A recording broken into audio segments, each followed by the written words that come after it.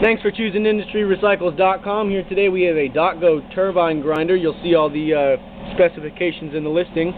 Just a quick demo on how it runs.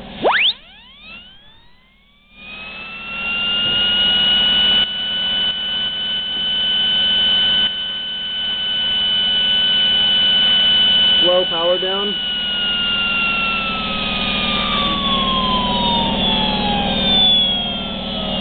Sounds really clean. There's no uh, grittiness or grinding.